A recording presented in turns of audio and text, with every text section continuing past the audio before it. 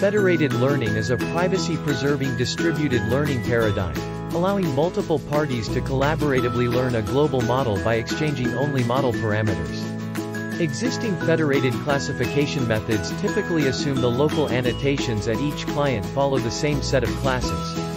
However, this assumption does not hold true in many real-world applications. For example, a smartwatch company wants to build a human activity classifier. Their smartwatch users could experience almost all types of daily activities in different environments throughout the day. However, users sometimes fail to report labels for every relevant activity or environment, and only report a subset of categories. Another example is a federated medical diagnosis system. As one can see here, doctors with different expertise only offer disease annotations within their domains.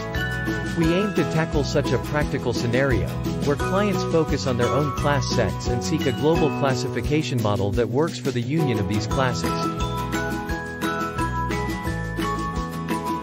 We observe that the natural language class names carry valuable information for understanding label correlations. More importantly, they are typically safe to share. Therefore, we break the conventional classification model into a data encoder and a label encoder. We view the classification as finding the best match between data and label representations.